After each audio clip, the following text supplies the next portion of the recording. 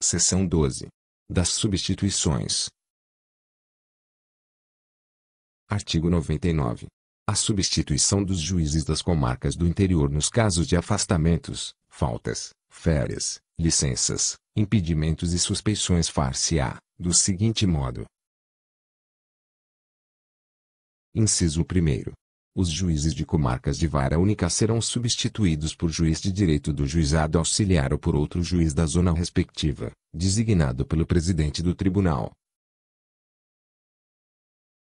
Inciso 2. Nas comarcas com duas varas, compete, reciprocamente, a substituição de um titular pelo outro, independentemente de designação, salvo nos casos de afastamentos superiores a 30 dias, quando o substituto será designado pelo presidente do tribunal. Inciso 3. Nas comarcas com três ou mais varas, a substituição dar-se-á, de modo sucessivo e independentemente de designação, da seguinte forma: o juiz da primeira vara será substituído pelo juiz da segunda vara, o da segunda, pelo da terceira, sendo que o juiz da última vara será substituído pelo da primeira, salvo nos casos de afastamentos superiores a 30 dias, quando o substituto será designado pelo presidente do tribunal. Inciso 4.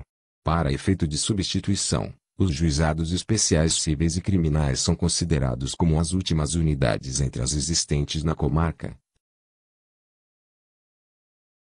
Parágrafo 1 por motivo de relevante interesse da administração da justiça, o presidente do Tribunal de Justiça poderá dispor de forma diferente da prevista nos incisos 2 e inciso 3 deste artigo, designando outros magistrados em exercício na mesma jurisdição, ou na mesma zona judiciária, conforme o caso, para fins de respondência, recaindo as indicações, preferencialmente, sobre os juízes dos juizados auxiliares. Parágrafo 2 nos afastamentos superiores a 30 dias, será designado para responder, preferencialmente, juiz de direito do juizado auxiliar.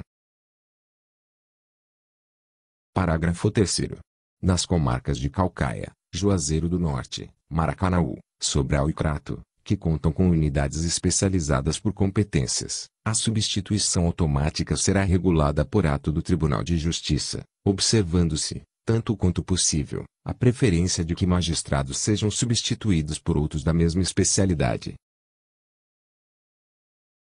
Parágrafo 4.